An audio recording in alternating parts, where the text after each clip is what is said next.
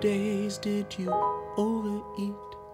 Siberian winds are blowing London's way. The UK sky is a January grey. There's coughing and sneezing and the spit in the street. We're bitching the cold, it's that kind of a week. But as close to Canada as New Hampshire gets, I'm sure you're getting your share of it. Hey, Gene.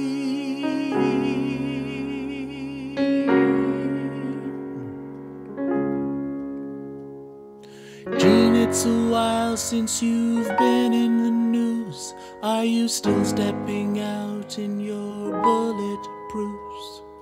Has the fundamentalist fuss died down? Or is the Westboro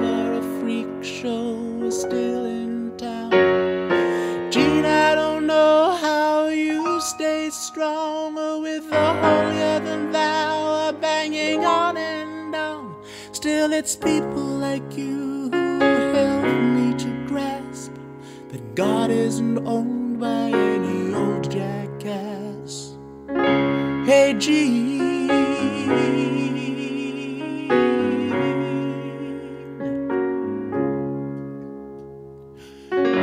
Cross my mind when I hear news of a government killing people like me and you.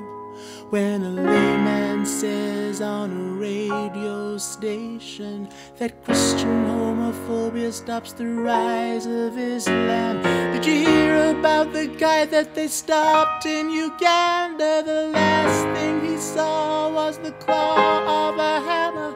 Do you understand why the newspapers allege these attitudes are imports from the US? Hey, Gene.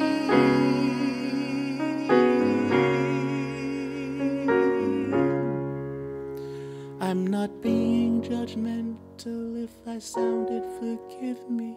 I'm lucky to live and to love openly.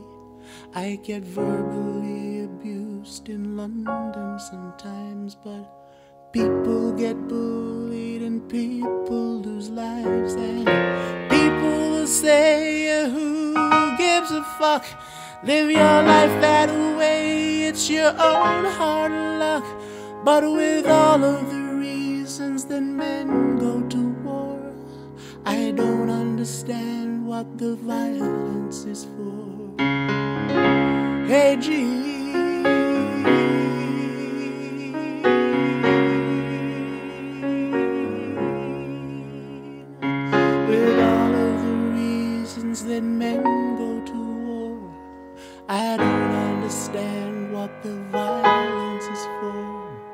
With all of the reasons that men go to war.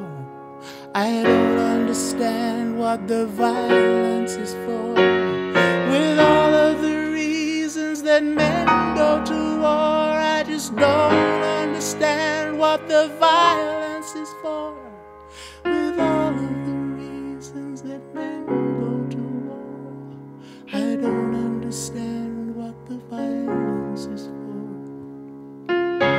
Hey, Gene.